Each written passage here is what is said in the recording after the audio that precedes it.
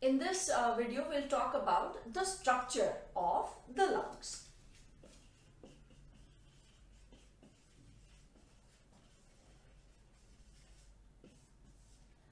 We have seen that trachea, it divides into two branches that is the bronchi.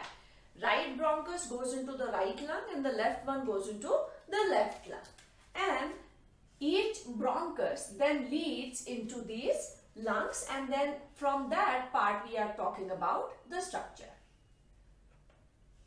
We have also seen that the right bronchus is wider and it is more vertical. The left one is narrower and it is more, sorry, it is more horizontal and this is more vertical. Now they open into the lung or they enter into the lung. Each lung is a triangular structure.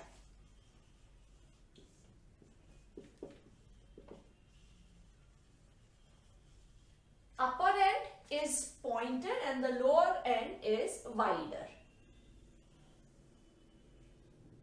The upper end is conical or triangular. The, the lower one is wide. Same is the case with the left one. The left one is smaller than the right one. So let us just put this here up till here and then we'll see what exactly happens. The area through which these bronchi enter into the lungs, this area, it is V-shaped and this V-shaped area through which the bronchus enters is known as hilum. So this area is hilum. So here we can write the bronchi enter the lung through hilum. So that is the point through which this bronchus is entering. And as we can see, the right one is bigger. This is the right lung. It is bigger as compared to the left one. Now here we will also take the comparison between the two lungs. Right lung and left lung. The right one is bigger. The left is smaller. This is the difference in the size. Now let us talk about the compartments. The right lung is divided into three lobes. The upper lobe, then a median and the inferior. So this is known as the superior lobe. This one is the middle lobe, middle lobe and the lower one is called the inferior lobe. Inferior lobe. This is superior lobe. So there are three lobes. As compared to that, the left one has two. So this is the superior lobe and the lower one is the inferior lobe. So the other difference between the right and the left lungs is the number of lobes. Here there are three lobes in case of the right and here two lobes. They also differ in their weight.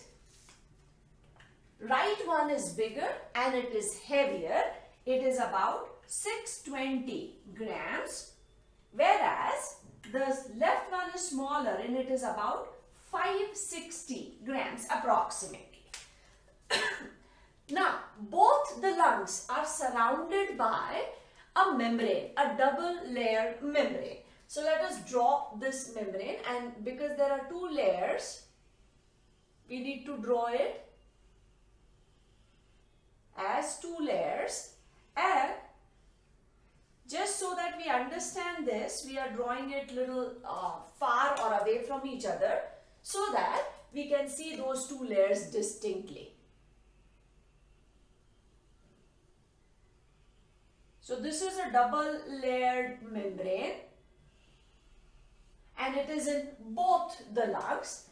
Here also we can draw it only in one part or maybe the entire place.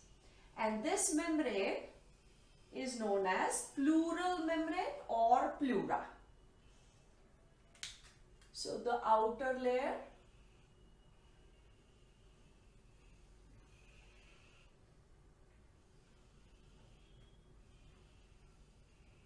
Now let us name them. The inner one is known as visceral pleura or visceral, visceral pleural membrane. The outer one is known as parietal pleura and together this makes the pleura or the pleural membrane. In between there is a fluid. So here between these two membranes there is a fluid which is known as pleural fluid.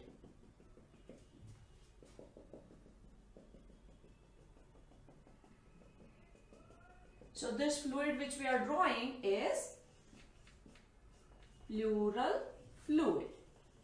And this pleural fluid performs some functions like it acts as a lubricant. Second, it protects the lungs from the mechanical shocks.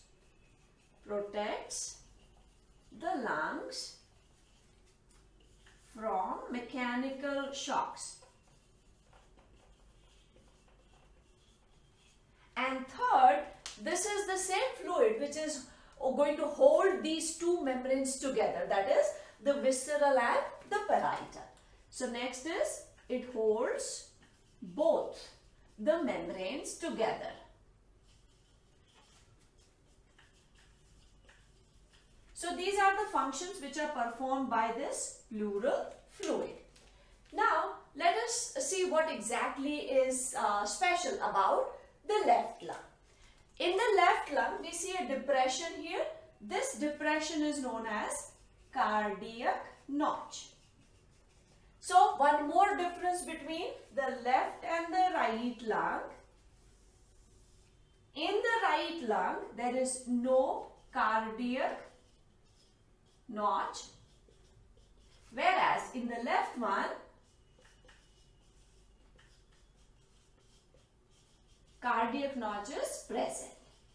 So when we compare the left and the right lungs as is visible uh, from the diagram also the right one is bigger because it is bigger it is heavier also and it has three lobes superior median and the inferior. The left one is smaller and it has only two lobes, the superior and the inferior. Plus, in the left one, there is a depression which is known as cardiac notch. This is the place where the heart is going to be placed. This middle part is known as the mediastinum. And this entire thing is in the thoracic cavity. Plus, if we have to just draw the membranous structure that is diaphragm here, the muscular diaphragm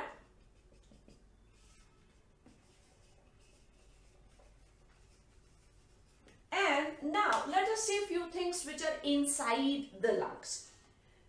In the earlier segment we said that this bronchi, the first one, the first branch is known as primary bronchus. This primary bronchus, it divides into three branches, one going into each lobe. So one is going into the superior lobe, one in the middle lobe and the third one in the inferior. Whereas in this case, it divides into two branches. One going into the superior and other going into the inferior lobe. So the first branch is known as the primary bronchus. And the second after that branching is known as the secondary bronchus. After secondary bronchus, it keeps dividing and the further branchings would be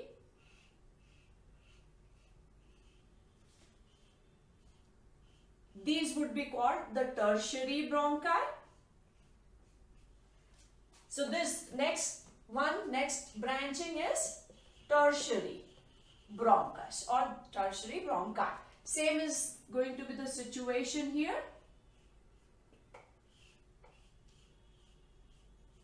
The number of primary bronchi, two. One going into the right lung, one going into the left lung. Number of secondary bronchi, so if we write primary bronchi, they are going to be two. One left, one right. Secondary bronchi, 1, 2 and 3 in case of right lung and 1 and 2. So 2 in right lung, sorry, 3 in right lung and 2 in left lung. And if it comes to tertiary bronchi, there this is primary, secondary and if we write about tertiary bronchi, there are 10 in right lung and 8 in left lung. So this is what is the number of these bronchi. So structurally each lung is pointed at the upper end. It has a pretty much triangular shape. Base is broad in case of both. The right one is bigger, the left one is smaller. The right one has three lobes, left one has only two the branches which enter, that is the primary bronchus, it enters into the lungs through a triangular conical structure which is known as hilum and then the branching takes place. We'll talk about the branchings later on when we come to bronchial intercom. But structurally, we compare the right and the left lung. Weight-wise, size-wise, lobe-wise and even the structure called cardiac notch. Plus, the double membrane uh, pleura. The inner is visceral, outer is parietal and there is a fluid in between which acts as lubricant. It protects from mechanical shock and it is going to hold these two membranes together when we breathe. So when the lungs get inflated or deflated, deflated means when the air is exhaled, at that time these two membranes remain together and these are the functions performed by the pleural fluid. Now in the next segment, we will take these branchings up to the alveoli.